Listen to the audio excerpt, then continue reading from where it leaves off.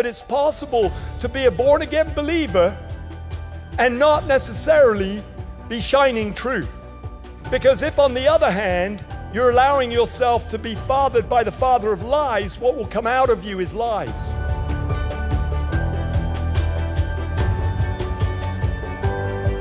And the title of my message is A House of His Presence is a House of Light. A house of light. And of course, a house that's filled with light is a lighthouse. And I didn't intend that to be kind of, you know, a bit twee.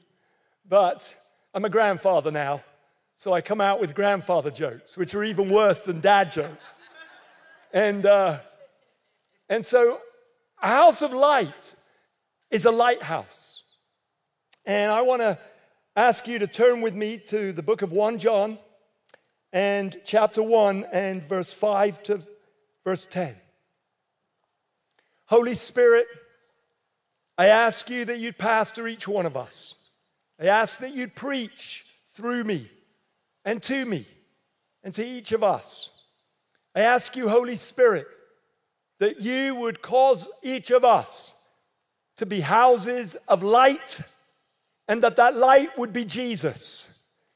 And that we as a whole community, as a body, this tiny expression of your global body of Christ, let us be a house of light. And let us be a lighthouse right here in North Carolina and to the nation and to the nations of the world. Holy Spirit, come. Speak to each one of us. In Jesus' name I pray. Amen. John says in verse 5 This is the message which we've heard from him and declare to you that God is light and in him is no darkness at all. If we say that we have fellowship with him and walk in darkness, we lie and do not practice the truth. But if we walk in the light as he is in the light, we have fellowship with one another. And the blood of Jesus Christ, his Son, cleanses us from all sin. Fasten your seatbelts, everybody. If we say that we have no sin, we deceive ourselves, and the truth is not in us. If we confess our sins, he is faithful and just to forgive us our sins and to cleanse us from all unrighteousness. If we say that we have not sinned, we make him a liar, and his word is not in us. God is light, and in him there is no darkness at all. And Jesus said in Matthew 5:14, "You are the light of the world." John 8, 12, Jesus said, I'm the light of the world. And we're, we're much more comfortable with that. Oh, yeah, Jesus, He's the light of the world. Me? Are you kidding me? How could I be the light of the world? Well, I've got good news for you. The Greek is plural. It actually says, Ye are the light of the world in the King James Version, because the translators of the King James, translating the original Greek text into English, they didn't have a word for you, plural. So they had to invent a word. Ye. It's not Old English, it's an invented word by the King James translators. So that the reader could understand whenever scripture was speaking to you plural you individual and but then delineate to you plural. Of course if they were from north carolina there'd have been no problem. They'd have just said y'all. But or all y'all actually because it seems to me that we're a little confused in north kakalaki that we still say y'all to somebody on their own. Anyway, uh, moving swiftly on. By the way, I hope you all enjoyed. Y'all, did you see how? Hope you all enjoyed the July 4th celebrations and the holidays. It was amazing. And Kate and I are just so proud and blessed and thankful to Jesus that we're American citizens. I might sound English, but I'm actually an American citizen and very, very blessed to be so and thankful for our, for our nation our founding fathers, and all those who've contributed to this nation being amazing. That makes me an immigrant, which is very special in the eyes of God. He says, Welcome in the stranger. So if you want to invite me over to your house and just feel, I mean, I'm just kidding.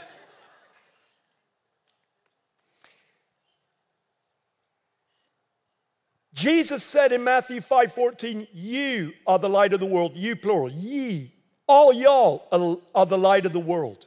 Then he goes on to say, you know, let your light so shine before men that they see your good deeds, your works. Actually, that, that word right there is not your capacity to build houses, although I'm very excited for our team that are building houses. And, and actually, as Kate said, we built a house in, in Dominican Republic. And, and you know, as I was shoveling endless cement and sand and mixing it all up and you know, sweating buckets because it was like, it felt like 125 degrees. And uh, I was just like, just dripping. Suddenly I realized, oh my goodness, the anointing in my life is in my sweat and it's going into this cement and th- into the bricks and everything that's going to be built. And this house is built with the anointing of every single one of our team into that cement. So just remember that while you're in Dominican Republic. And those people that are being gifted this house are being gifted a house that's built by the anointing. Wow, I, I thought that was amazing. And uh, but that word right there is not just the physical works; it's actually much more so the energies of God, the ergons, the works, the same works that Jesus said in John uh, chapter uh, 14, verse 12 I tell you the truth, whoever believes in me, not only will they do the works that I do, but even greater works will they do in my name because I go to the Father. It's the supernatural works of God that distinguishes us as the people of God. The world is full of all kinds of really amazing charities that are doing really good philanthropic work.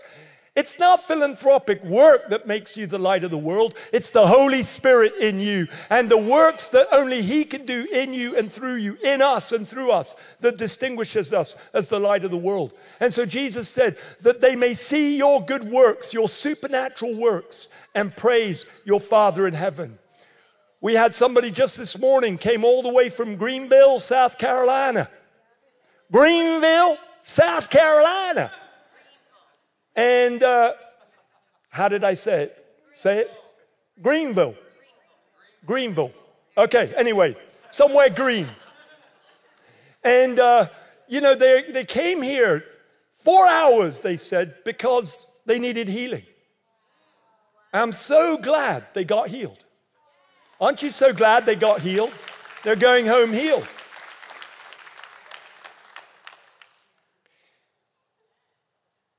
So, if we're the light of the world, which we are, and our supernatural works that we can do, which we can, will cause praise of our Father in heaven, wouldn't it be amazing to be a house of light?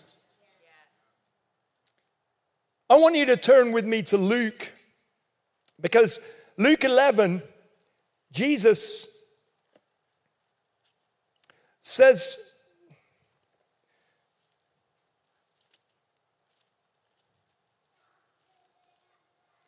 some pretty mysterious things.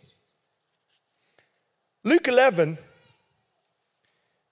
and verse 33, a parallel scripture of Matthew 5:14. No one, when they've lit a lamp, puts it in a secret place or under a basket, but they put it on a lampstand that those who come in may see the light.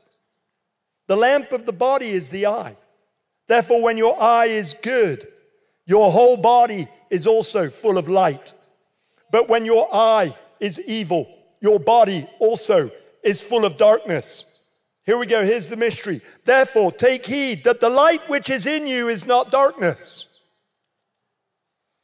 If then your whole body is full of light, having no part dark, the whole body will be full of light. As when the bright shining of a lamp gives you light. In Matthew 6, verse 23, a parallel passage of scripture, Jesus says, Take care that the light that's in you is not darkness, for great will that darkness be. Evidently, We can be filled with light, and that light be darkness. Ooh. And that is mysterious to me. And I started to ask the Lord to help me to understand this. Lord, how can you be saying and declaring that we're the light of the world, which we are, when we know that you're the light because you're the true light of the world and you dwell within us. So, therefore, we're the light of the world because you, the lamp of God, is in us. The eternal word of God is the lamp of God. You're in us, you're shining through us. So, yes, I understand that we can be the light of the world. But, God, would you just show me the mystery? How could it be possible that there could be light in me that's actually darkness? And the problem with deception is it's deception. The problem when you're deceived is that you're deceived, so you don't actually realize that you're deceived. If you did, you wouldn't be deceived. You'd be like, no, no, that's not for me. Thank you very much. We know that Jesus is the truth. He's the way, the truth, and the life. And because He's the truth and because He's the light, when we're walking in the truth, His light shines and emanates from us. But it's possible to be a born again believer and not necessarily be shining truth. Because if, on the other hand, you're allowing yourself to be fathered by the father of lies, what will come out of you is lies. See, in James 1:17, our heavenly daddy is referred to by James as the father of lights. It's easy to kind of like, oh, the father of lights. What's the father of lights? Well, actually, it's the exact same word in Greek as you are the light of the world.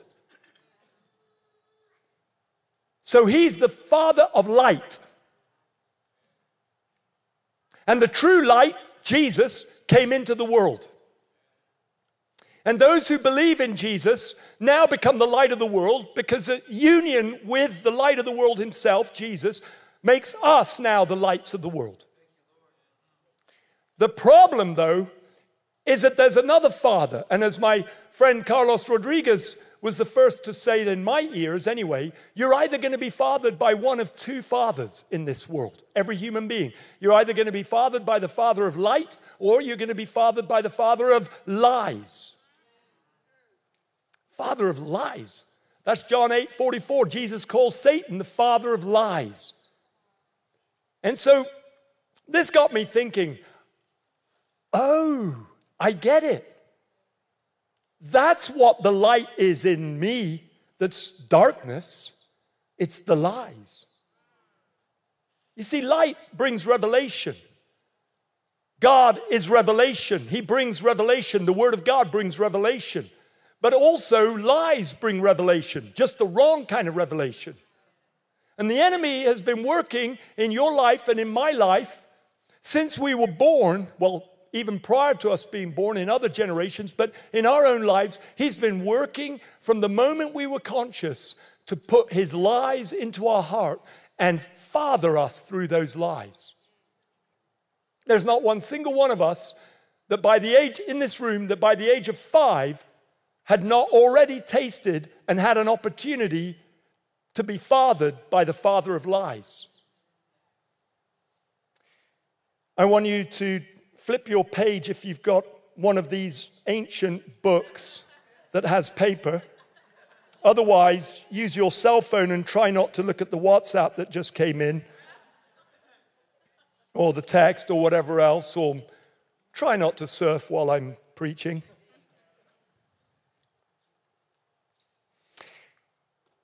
In verse 24 of the same chapter of Luke, we read, When an unclean spirit goes out of a person, that spirit goes through dry places seeking rest, and finding none, says to himself, I will return to my house from which I came.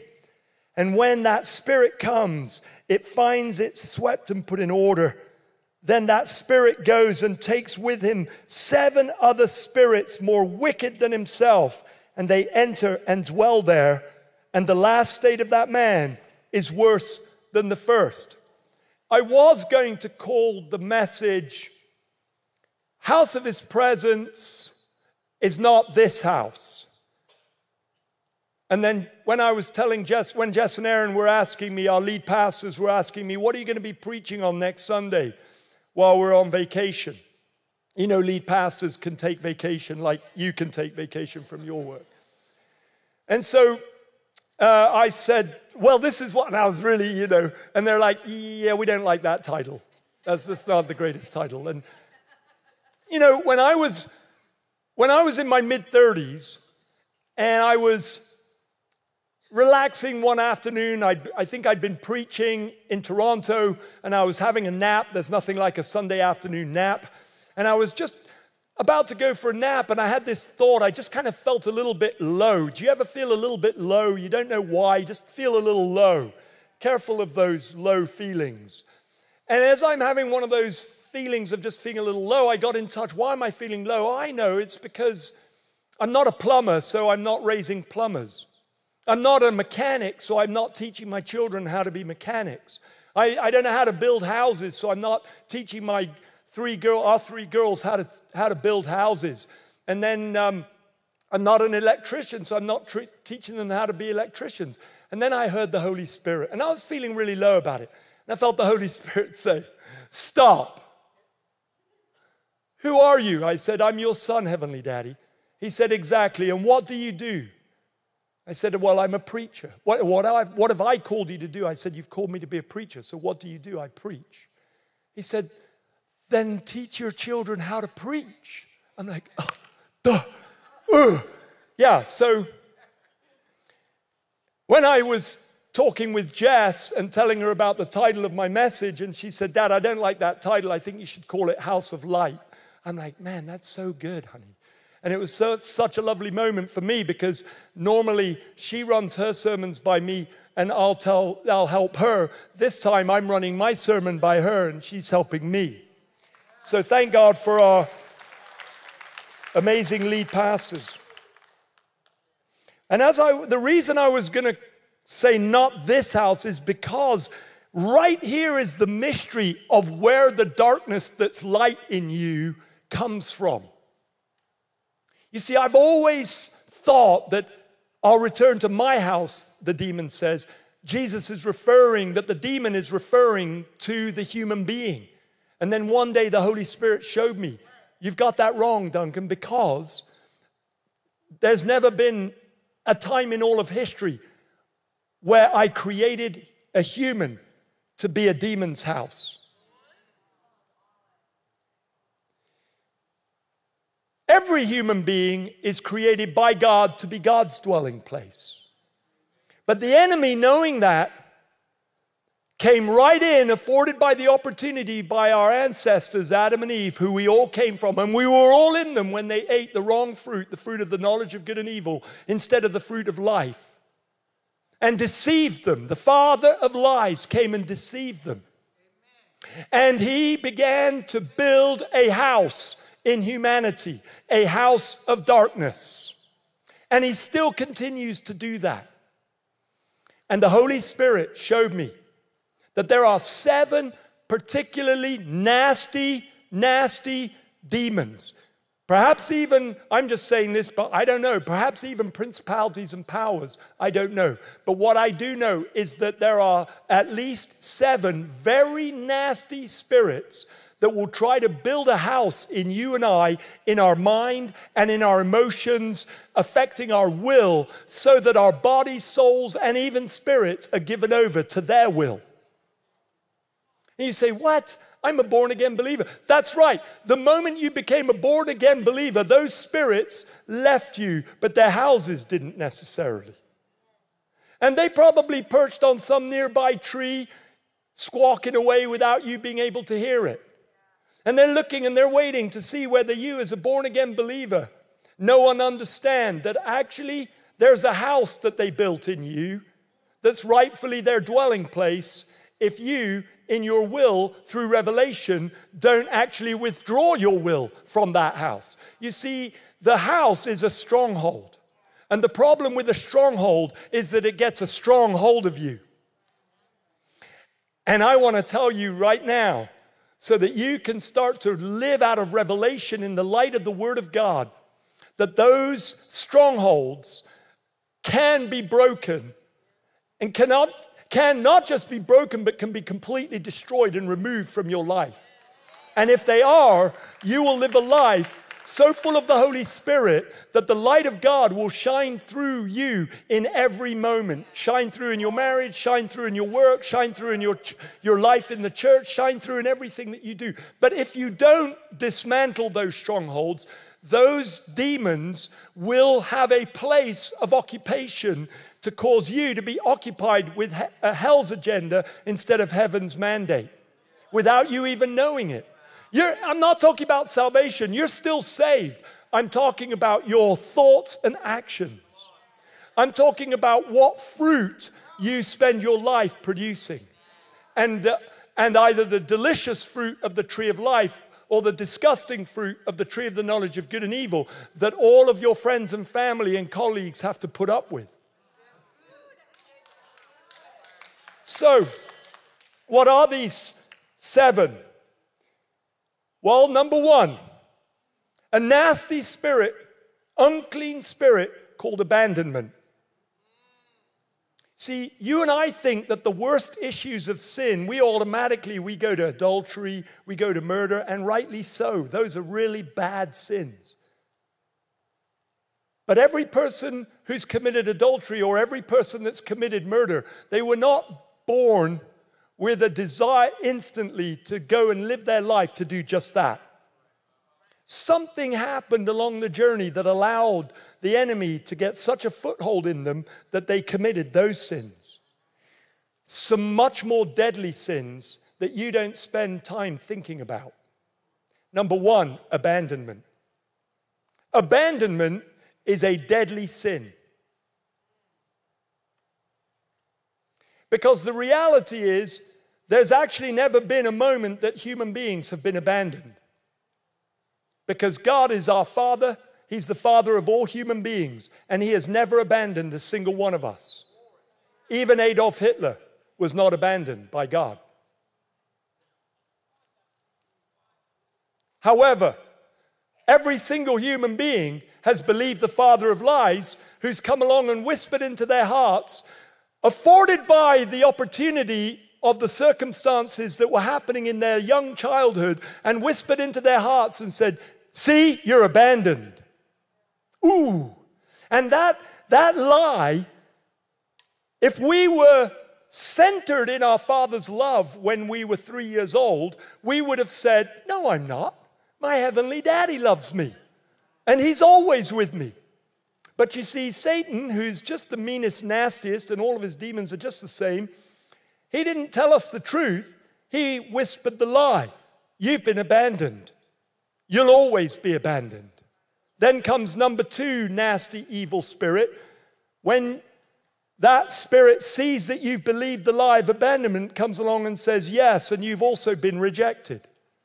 See, I want you to think in those days when Jesus was talking about houses and these unclean spirits, referring, I'm going to go back to my house, houses were made of clay bricks and mortar made of mud.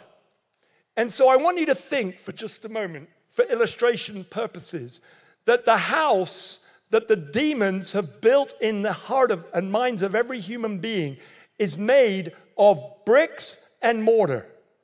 You say, well, what kind of bricks?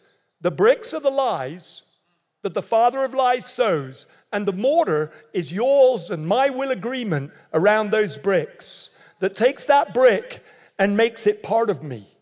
And that's what makes that stronghold have such a strong hold over you. Your will is part of it. That's why you can be delivered, but if you don't get rid of the house, the stronghold, those demons will come back, even though the rest of you is full of the Holy Spirit.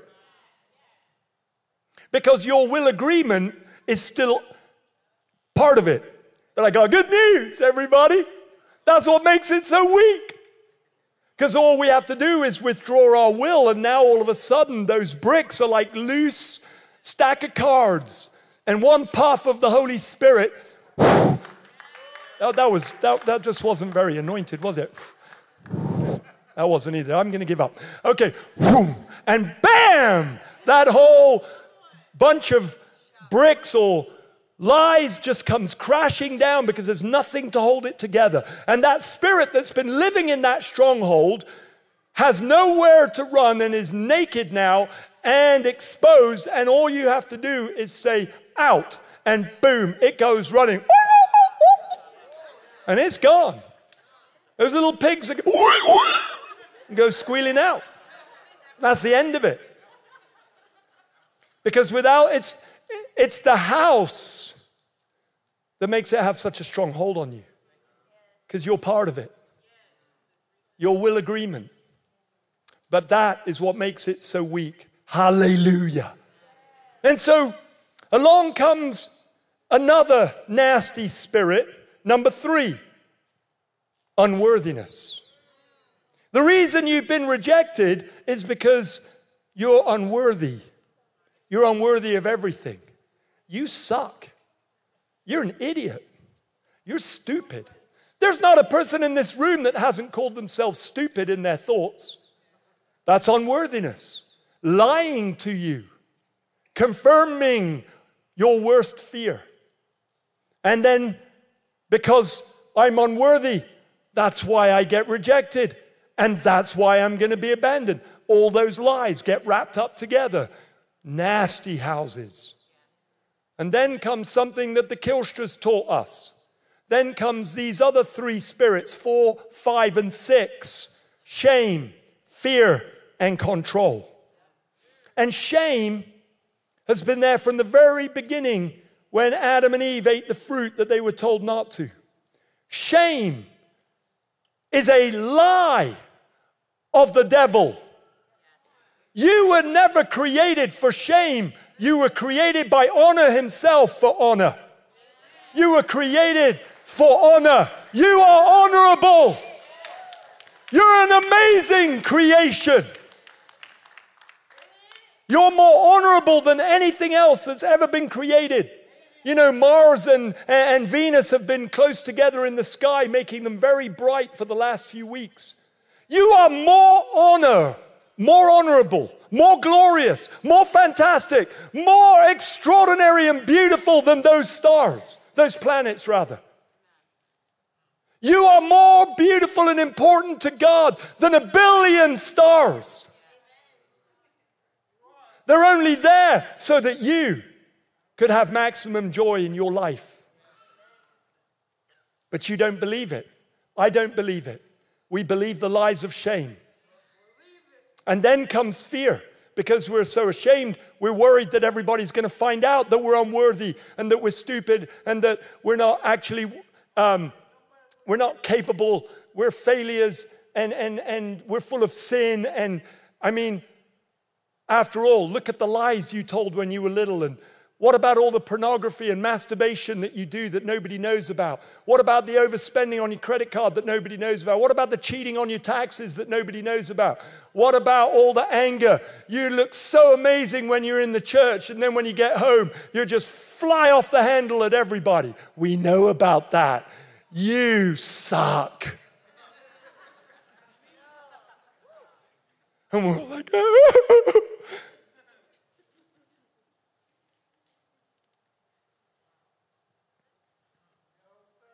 The enemy wants to deconstruct the church so that he can continue constructing his strongholds. I'm not going to say it again. You heard it. And so, it's so important to us, everybody, that we have fellowship with one another because we're all in the same boat. Now, along comes control and says, Hey, listen, if you just do what I tell you, you will never experience abandonment because you'll never be rejected. No one will ever find out, find, find out that you're unworthy. And then you'll never have to be afraid again. Just do what I tell you. Be cool. Be the best musician. Oh, gee, you suck at music. Oh, don't worry. Be the best sports person. Oh my gosh, there's not an athletic bone in your body. Don't worry. Be the most intelligent person. Oh dear, you're pretty stupid, aren't you?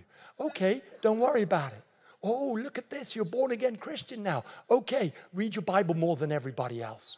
Oh, you're not that good at that either. Oh, I know what. Why don't you be the most prayerful? Yeah, you know, join that 24 7 prayer group. Yeah. then nobody will find out that you and I know a little secret about each other. You suck. You're a born again sucker. And then along comes number seven rebellion. Because there's no human being that can hold all that down. And we just want to rebel and make our mark on something. And it's pretty easy anyway because we've already lost touch with the God who loves us. Or rather, we've lost touch that the God who is loves us.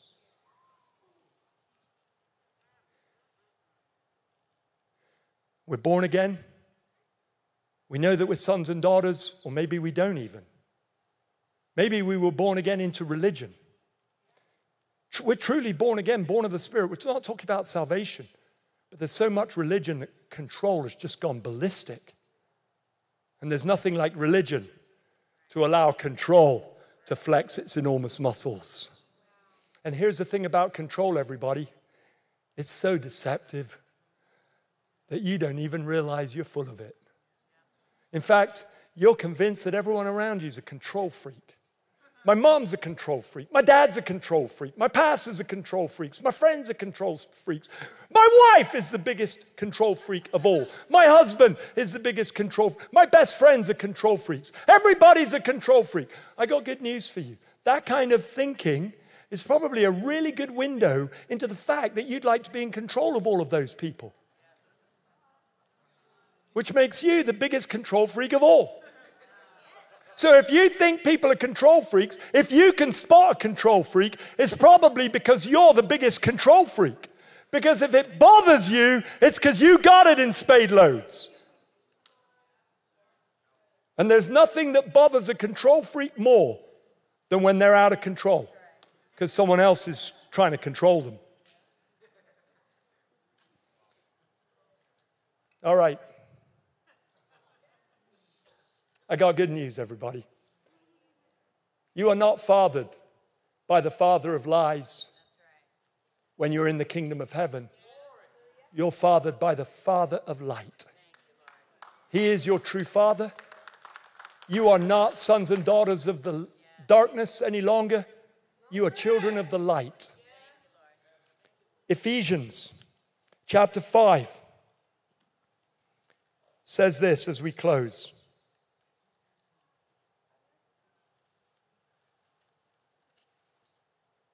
Ephesians chapter 5 and verse 8.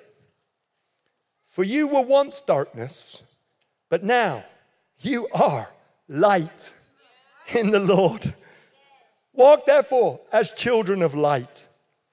For the fruit of the Spirit is in all goodness, righteousness, and truth, finding out what is acceptable to the Lord. Have no fellowship with the unfruitful works of darkness, but rather bring them out into the light. For it is, a shame, it is shameful even to speak of those things which are done in secret. But all things that are exposed are manifested by the light, for whatever makes manifest is light. Therefore, he says, Awake, you who sleep, rise from the dead, and Christ will give you light. Folks, my favorite thing about the church is that I walk with a community that I can share life with, truth with, and be vulnerable with.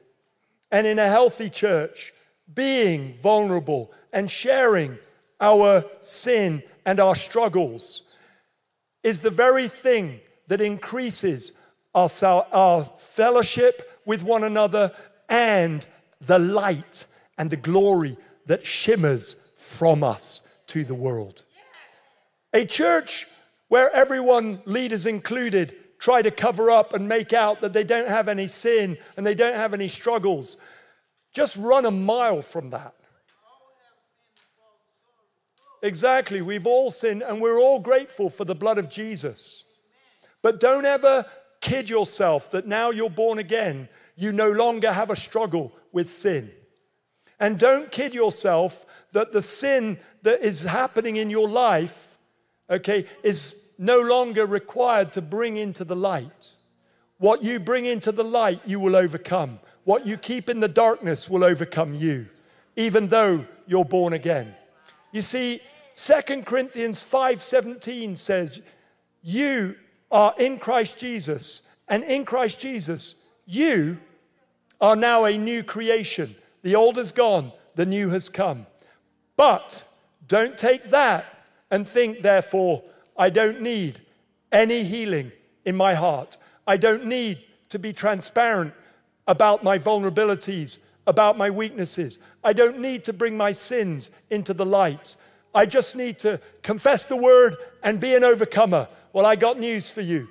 When you do that, those spirits will live in that house that they made. It belongs to them, but you're part of it. And they will make sure that even though you're confessing at 100 miles an hour into the mirror that you're this, that, and the other in Christ Jesus, your life will be led into greater levels of darkness. How else do you think pastors, leaders, business leaders who are born again believers and full of the Holy Spirit end up? Turns out they've got adultery, they've got homosexual lifestyle, they've got this, they've got that, they've got the other, whatever it might be. Or it turns out that they've cheated on their finances. How does that happen? It's because they're not willing to bring into the light the issues of their hearts. They're not willing to confess the reality of their sins one to another. As leaders, they've become above and aloof instead of being humble and transparent. And if you ever see me being prideful and aloof,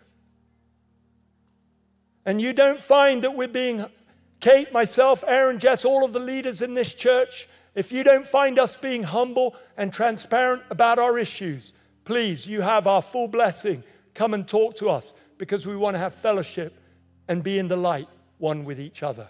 Amen? Amen. Amen. Let's, and I'm really, really pleased to let you know that despite the fact that I've skimmed over an extraordinarily deep subject, you can as a member of this church, you can avail yourself of a whole bunch of ministry for inner healing, healing of life's hurts, transformation of your inner man. You, there are a number of people in this church, even the very founders of RTF, Restoring the Foundations themselves, are members of this church. There are now, thankfully, a number of other amazing ministers of Restoring the Foundations, HeartSync, Sozo, Theophostics. There are so many different things. And if you're sitting there going, What in the world is he talking about? Find out. Find out. Find out from their friends. Come talk to me. Come talk to the pastors. Come talk to your prayer ministry teams, your connect group leaders. You probably won't be able to talk to me because I'm out of the country most of the time. But find your connect group leader and say, Talk to me about RTF. What in the world did that Duncan Smith guy mean when he said RTF? What is RTF? Oh, I'm so glad you asked. And they'll let you know. And then you can spend time with people that will lovingly listen to you bringing issues into the light, just as Chester and Betsy have done for Kate and I. And so many times we've sat on their couch and we've shared with them the worst of our lives. And they've lovingly ministered to us as we've confessed our sin, as they've helped us to withdraw our will from those strongholds. We've been set free from abandonment, set free from rejection, set free from unworthiness, set free from lifetime patterns of, of shame, set free from fear, set free from control. Kate and I are the number one bickerers on planet Earth. But we've managed to make our way down to about number 10 now. From number one, we've gone to about number 10. We managed to drive 14 hours down from Toronto, and we probably bickered about twice. As opposed to 10 years ago, we'd have bickered probably for about 12 hours of the 14 hours. How? How? Prayer ministry teams filled with the glory of God that have ministered to us as we've humbled ourselves and told our need and expressed our need. We don't want to be all singing, all dancing, powerful leaders. We want to be leaders who carry the all singing, all dancing, powerful one, Jesus Christ Himself, and be found in Him and Him found in us. Let's stand, everybody. A house of His presence is a house of light.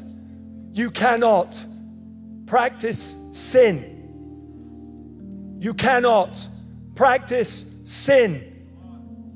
No matter how secret you might think it is, you cannot practice sin without a, that sin, secret as it is, affecting all of the believers in this room.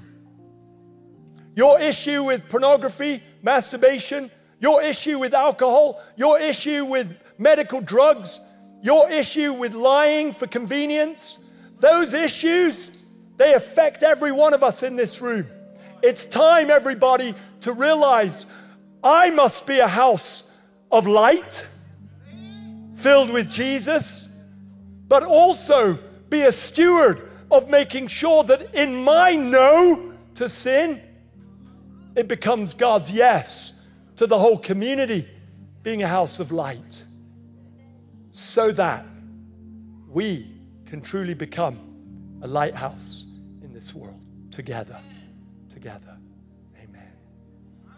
All right, we're going to do some business and then I'll hand over to Kate. Say this with me. We're going to have some corporate deliverance. The first thing we're going to do is we're going to deal with those seven strongholds. The good news is because of the power of the cross, because of 1 John 3, verse 8, for this reason, Jesus Christ came to destroy the works of the devil. And he did it. We can, in a moment like this, make a very simple start to a life of cleansing. You see, 2 Corinthians 7, verse 1 says, Paul says, Therefore, because of all these promises, promises of what? That we're sons and daughters and God is our heavenly Father, that we're His dwelling place, that we're His people and He's our God. Verse 7 says this Therefore, let us, because of these promises, let us cleanse ourselves from everything that defiles us, perfecting holiness in body and spirit, in the fear of the Lord. Holy Spirit, I thank you for this moment. Though we're all probably in the main born again, new creations, you want us to cleanse ourselves. And today we position our hearts to do just that. So say this with me, everybody. Heavenly Father, I come to you in the name of Jesus. The truth is, since I was little, I've agreed with and believed the lies of abandonment, rejection, unworthiness, shame, fear, control, and rebellion, and witchcraft. I didn't have time to go into that. And right now, I ask that you'd wash me with the precious blood of Jesus and clean me, cleanse me from all unrighteousness. I just let the precious blood of Jesus cleanse you from all that defilement. Say this with me. In the name of Jesus, I withdraw my will from all of those lies no longer will I believe that I'm abandoned, that I'm rejected, that I'm unworthy, that I'm full of shame, that I'm full of fear, that I'm full of control and rebellion and witchcraft. I withdraw my will in Jesus' name from all of those lies. And I command the house of the evil one, the houses of the evil one, in my mind, in my emotions, in my body, soul, and spirit come crashing down now in Jesus' name.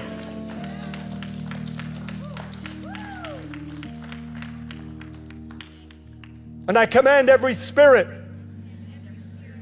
that occupied and helped build those houses to leave me now in the name of Jesus. Now take a deep breath of the Holy Spirit in and breathe all those lies out, those spirits out. Out they go. breathe them out. Out they go. Say that with me. Out you go. Out all y'all. Now, listen, you didn't feel them go in, so you don't need to feel them go out. Now, just take a moment and welcome the Holy Spirit.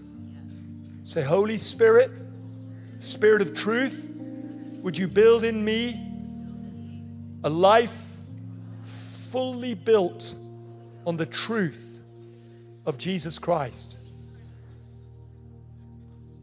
I'm being obedient to Him. Teach me your voice, Holy Spirit. Keep me centered in the Father's love. Woo. Hallelujah.